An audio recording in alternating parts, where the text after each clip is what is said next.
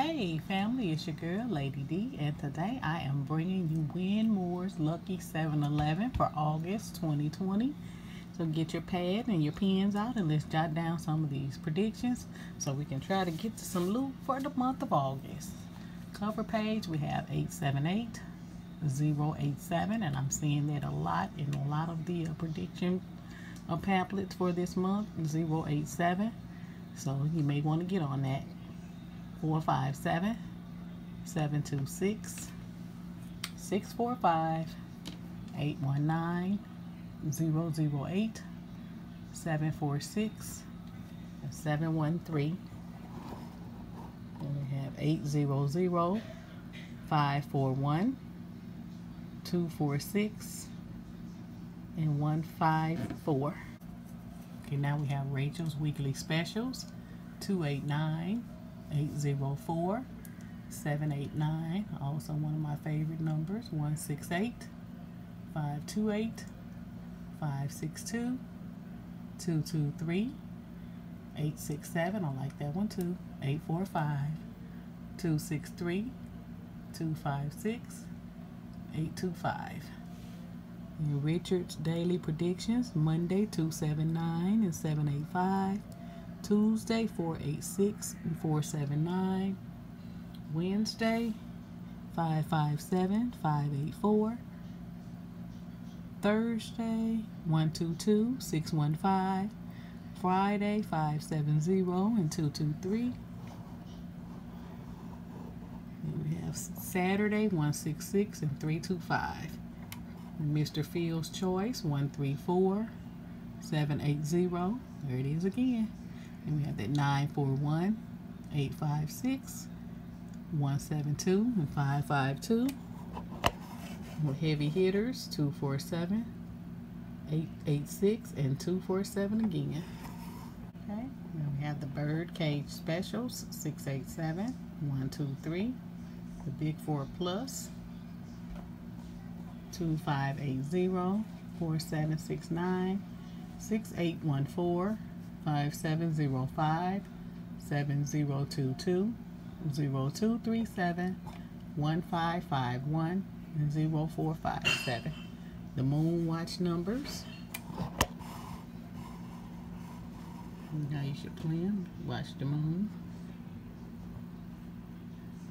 799 732 225 761 DW Super Pick 3413.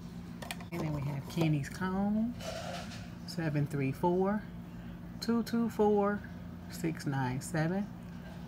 Okay, then we have the anniversary and birthday specials. For your birthday or your anniversary or in these months, they have uh, what they think you should play.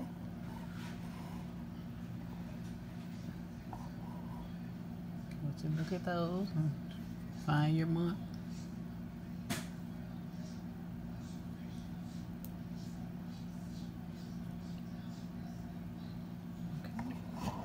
Here we have Let Them Roll, 932. And then we have the combos, Super Box, up, down, or diagonal, 095, 143, and 276.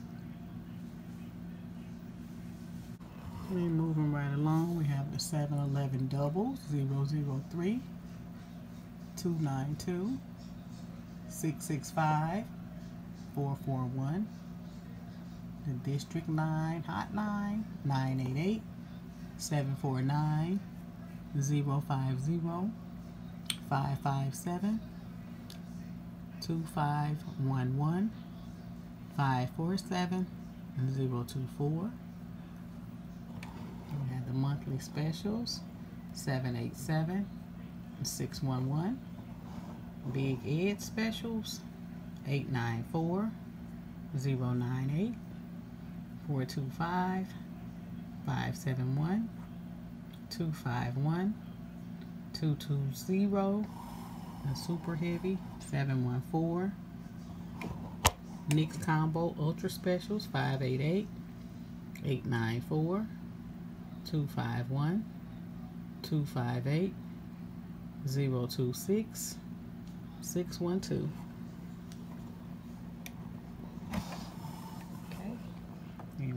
Karen's Crystal Ball 9715 5612 3467. And Sylvia Stars. We have 881 256 976 447 and one of my favorite numbers 871 okay so there you have it everyone that's the Winmore's Lucky 711 for August 2020 good luck to everyone I'm asking you to please like this video please leave me a comment down below let me know what numbers you like to play and what state you're playing them in and what you think's coming and uh, what you feel is hot I like to see those comments and I like to play some of those numbers sometime when I'm able. You know, it's all in fun. We're doing all this. This is all in fun. Just a chance to try to win a little extra and take it serious. And um, I'm going to ask that you please subscribe to this channel. If you're not already a member, please hit that notification bell so you'll be uh, notified when I upload the next set of numbers or the, come out with the next pamphlet so we can all try to get to the get to the dream, guys.